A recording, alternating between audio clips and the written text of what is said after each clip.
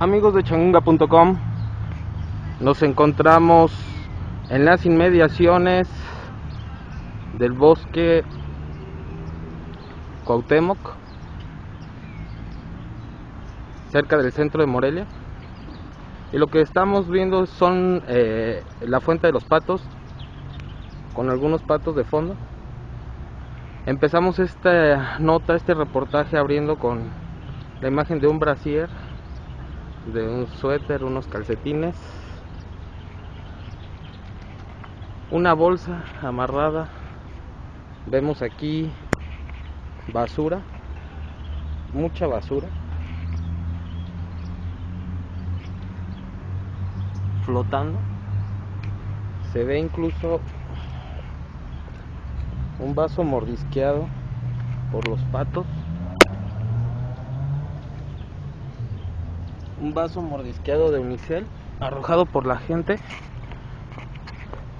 Se ve una fuente descuidada y el problema es el siguiente que van a ver.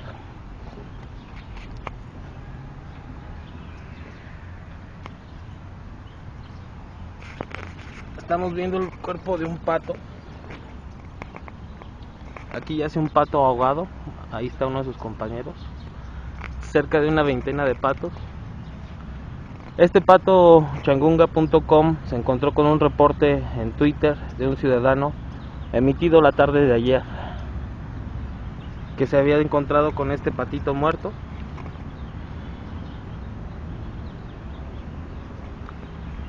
Y ayer en la noche venimos a, a, rectificar que, que, aquí estuviera todavía el pato. No solo ayer en la noche todavía sigue, estaba, sino hoy 10 de la mañana de este martes 5 de febrero del 2013. El pato aún continúa, el cadáver del pato aún continúa. A muchos les podrá parecer insignificante un pato más, sin embargo esto nos habla del abandono en el que está la fuente y es un reflejo del abandono en el que está Morelia, el municipio de Morelia. Vean, basura por todos lados. Vamos a hacer un recorrido alrededor de la fuente, envases. No, no verán un solo anuncio. No verán un solo anuncio a la gente que le prohíba o le indique no tirar basura, popotes.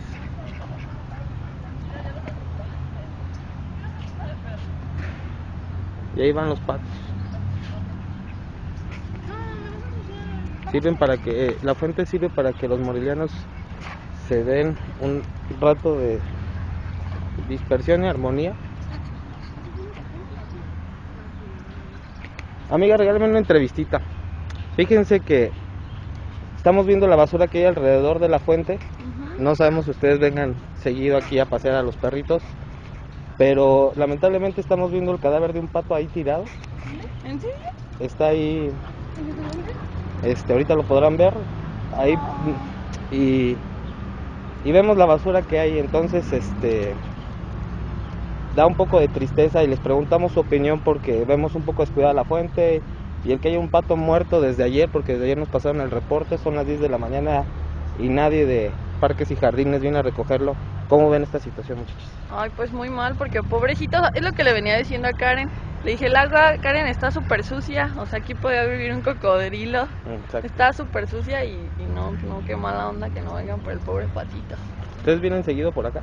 Este, pues sí, más o menos. ¿Les ha tocado ver algún empleado municipal que debe comerle a los patos, que los atienda? ¿Alguna vez han visto que limpien mm, la fuente? No, más bien nos toca ver, pero las personas que de repente se acercan a, a, darles de comer a los patitos, pero no, empleados, pues no, no me ha tocado a mí ver. ¿Quién sabe? ¿Te ha tocado? No, nunca. He hecho, amigas, se los agradezco. No, para nada. Y aquí aquí no vemos tanta basura recopilada, aquí vemos plumas, unos limones, limones no sabemos de qué, exprimidos.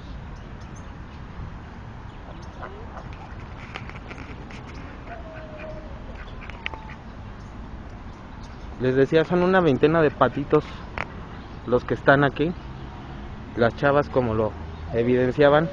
Aquí se ve el agua de que podría vivir un cocodrilo. No sé si alcancen a ver esa transparencia, ese vaso de plástico ahí flotando. En realidad la, fuente está hecha un asco con todo respeto.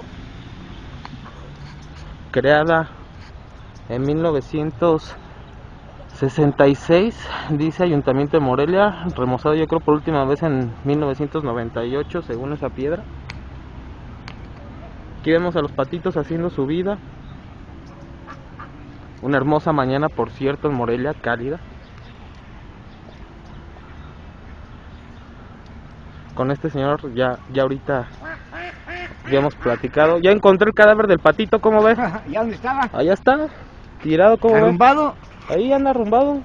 Pobre patito, ¿cómo ves? No, pues no, no deben de hacer eso los mismos que están aquí cuidando, pues. Pues parece que ni cuidan, oiga. Pues sí, es que como no, no, no asisten casi, yo creo que nomás de, hay de pasadita bien a ver cómo Se están. hacen patos, oiga. Ándale, igual que aquí. Déjame continuarle, gracias. Pues ya nada más queda bromear, pero en realidad sí es una tragedia. ¿Quién sabe en qué, en qué condiciones de salud están estos patos? Nadie, ahorita al, al rato iremos a preguntar a parques y jardines cuánto es el presupuesto, quién atiende, hay un veterinario para estos animalitos que, que le propinan a los, a los morelianos pues un rato de esparcimiento. Amigo, una preguntita, ¿cómo ves, cómo ves la, la fuente? Porque la vemos muy sucia, con basura y los patitos, pues a final de cuentas como que nos ayudan a, a ponernos tranquilos cuando venimos acá. ¿Cómo ves la fuente? Pues, Está un poquillo sucia. Anda un pato muerto por ahí, ¿cómo ves? ¿Qué te parece?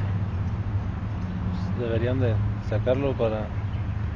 Se va a oler feo ahí, ¿no? Sí, ¿no? Hasta para los mismos patos, por cuidado. Hecho, amigo, con permiso.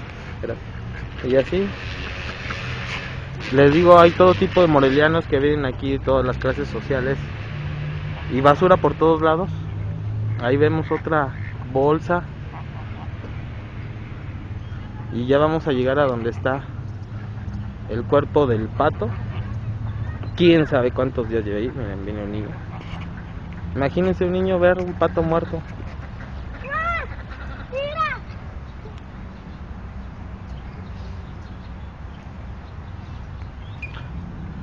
Esa es la imagen que está dando la administración de Wilfrido Lázaro.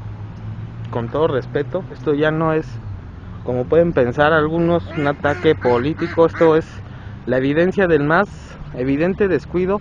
Si las colonias de Morelia sufren inseguridad, están pasando, estamos pasando por momentos de asaltos, de robos. Cuanto más unos pobres patitos que no tiene nadie que vele por ellos. Mientras algunas asociaciones de animales andan pidiendo la liberación de una osa polar, muy respetable por cierto su causa. Pero aquí en el pleno centro de Morelia, ¿quién cuida de estos patitos?